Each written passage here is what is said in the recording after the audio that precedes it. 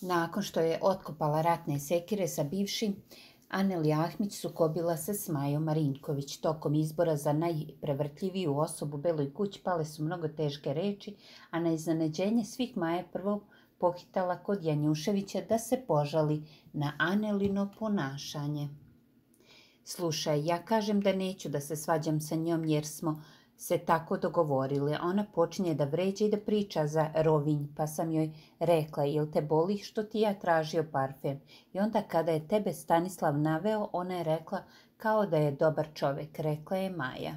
Ma mene ona ne zanima, možete da pričate šta hoćete u njoj, rekao je Janjuš. Ja sam se svađala sa njim samo zbog nje, evo ga, ona i prilazi, rekla je Marinkovićeva. Ja sam ti već rekao, sa njom nemam nikakve veze, nisam više sa njom, ni ću ikad biti. Nemam potrebu da ulazim ni u kakve rasprave, te kao grupne, rekao je Janjuš. Došla sam samo da ti kažem, da znaš o čemu se radi, pošto namjerno prilazi i provocira, kao njemu pruža ruku, rekla je Maja.